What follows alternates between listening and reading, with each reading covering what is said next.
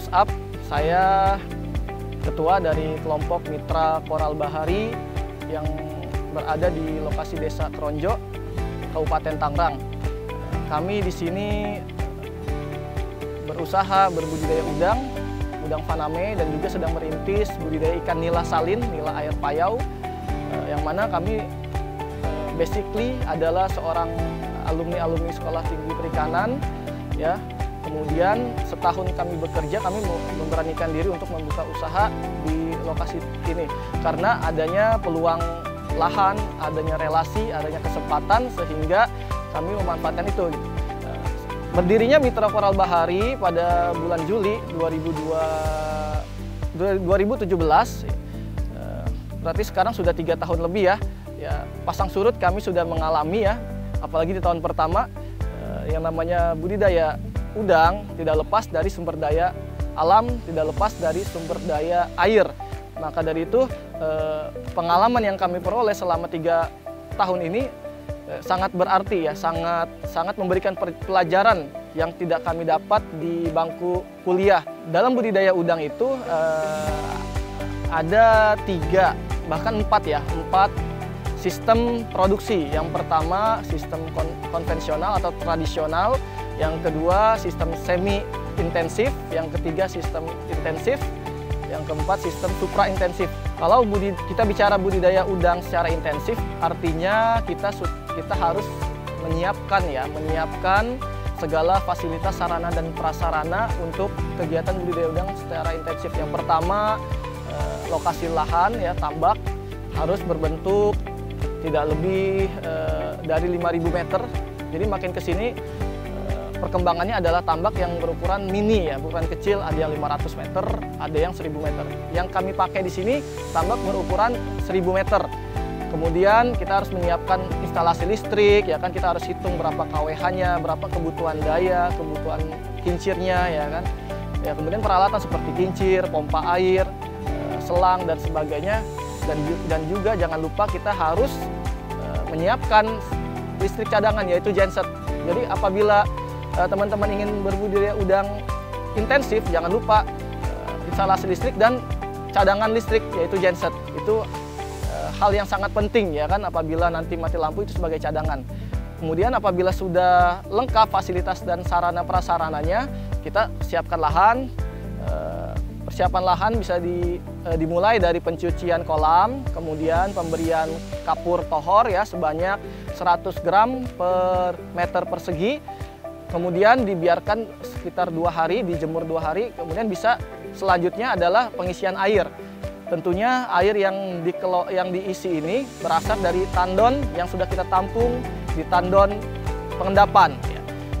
Setelah diisi air sebanyak 10 apa, 100 cm atau 1 meter, kemudian kita lakukan sterilisasi air. Sterilisasi air ini menggunakan kaporit sebanyak 30 sampai 50 ppm. Kalau saya, kami di sini menggunakan 50 ppm untuk persiapan awal karena yang kita ketahui bahwa perairan Pantura khususnya di Tangerang memang tidak e, sebagus perairan-perairan yang berada di selatan maupun di wilayah-wilayah lain gitu. Ya, setelah tiga hari kaporit e, steril, netral, kemudian kita aplikasi probiotik ya. Kita menggunakan probiotik di sini spesifik ada tiga jenis ya, tiga jenis bakteri. Yang pertama bakteri Bacillus, yang kedua nitro nitrobacter, nitrosomonas, yang ketiga rhodobacter. Nah, untuk persiapan awal kita hanya menggunakan dua dulu, ya nitrosomonas dan nitrobacter juga produk bacillus. Nah, itu kita kasih untuk persiapan awal kita kasih masing-masing 2 ppm. Itu hanya untuk sekali kasih. Kemudian eh, dibiarkan selama 7 sampai 10 hari sebelum penebaran benur pada sore hari kita aplikasikan lagi probiotik di pagi hari sebanyak 1 ppm masing-masing jenis probiotik. Nah, setelah uh, air sudah jadi, masuklah penebaran benur. Ketika sudah penebaran benur, uh, artinya air ditambak sini sudah siap, plankton sudah siap, probiotik sudah berkembang, bisa ditandai dari apa warna air yang kehijauan atau warna air yang kecoklatan dan ditandai adanya buih ataupun busa halus ketika malam hari. Nah, ketika dilakukan penebaran, teman-teman bisa sesuai dengan lokasinya ya, sesuai dengan budaya di sana, apakah pagi apakah sore, apakah malam. Tapi kalau kami di sini biasanya sore gitu, biasanya sore. Ketika lakukan penebaran, jangan lupa diaklimatisasi sekitar 15 sampai satu setengah jam tergantung rank dari salinitas maupun suhu yang ada di kantong benur maupun yang ditambak itu apabila terlalu jauh ranknya eh, jaraknya kita lakukan aklimatisasi agak lama gitu agar udang tidak stres dan dia tetap eh, meningkatkan SR ya jadi SR tetap terjaga tidak stres akhirnya udang bisa eh, meningkatkan produktivitasnya gitu Kemudian setelah persiapan lahan, barulah masuk pemeliharaan. Nah, di pemeliharaan ini yang paling penting untuk budidaya udang itu adalah air, perairan. Apa namanya? Eh, kualitas air. Jadi kalau para petambak udang bilang budidaya udang itu artinya memelihara air ya, memang benar gitu. Jadi airnya dikelola, jangan sampai uh, amoniknya terlalu tinggi, plankton yang nge ataupun uh, apa namanya terdegradasi secara secara keseluruhan itu yang menyebabkan udang stres. Tapi dalam pengelolaan air program yang kami lakukan di sini uh, adalah pemberian probiotik sekali lagi probiotik ya karena dalam budidaya udang khususnya probiotik itu tidak bisa dilepaskan ya. Uh, kita berikan probiotik sebanyak dua kali dalam seminggu yaitu 0,5 ppm. Jadi di awal tadi banyak 2 sampai 1, kemudian setelah air sudah jadi kita bisa mengurangi penggunaan gitu. 0,5 ppm sampai umur 2 minggu. Setelah 2 minggu kita kasih probiotik sebanyak 1 ppm sampai panen. Dan pergantian air sipon itu dilakukan pertama pada umur 25 hari. Selanjutnya setelah 25 hari selama seminggu kita lakukan sipon pengurang pergantian air sebanyak 10 sampai 15 persen tergantung kebutuhan. Dan pemberian pakan jangan lupa ya, eh, pakan juga memegang peranan penting selain dari eh, air tadi ya. Jangan sampai kita kekurangan pakan, jangan sampai kita kelebihan pakan, ya overfeeding. Kalau kita kekurangan pakan, eh, size tidak mengejar ya kan. Nanti akhirnya kos produksi naik, harga udang kurang mahal karena size-nya kecil.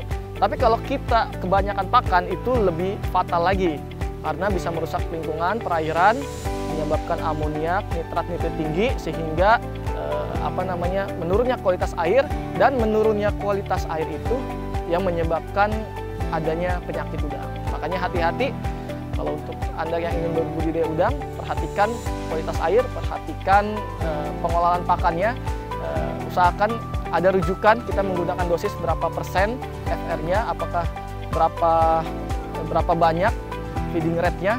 Kita harus punya patokan jangan sampai berlebih pakan dan juga jangan sampai berkurangnya pakan. Gitu.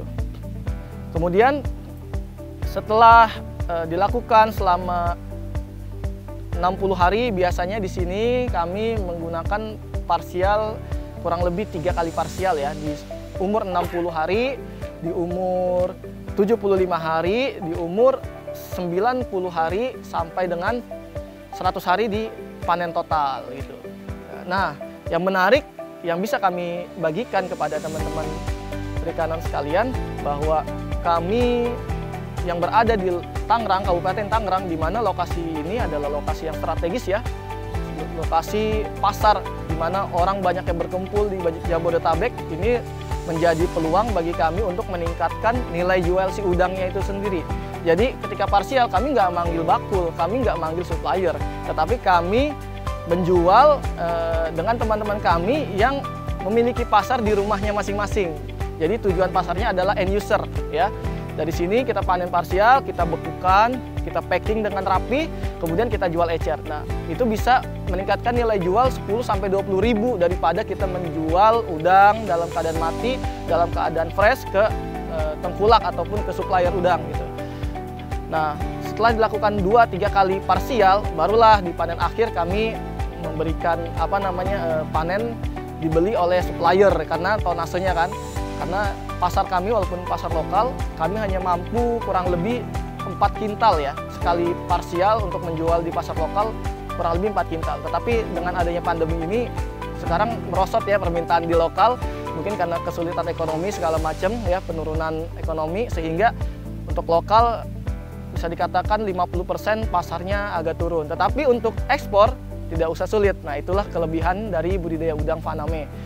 Jadi eh, pasar tidak perlu diragukan, tidak perlu dipusingkan. Yang harus di, yang harus dikonsentrasikan adalah bagaimana produksi ini berjalan dengan lancar, dengan baik ya, sehingga eh, volume produksinya bisa maksimal. Nah, itu fokusnya yang harus dilakukan oleh pembudidaya udang Paname.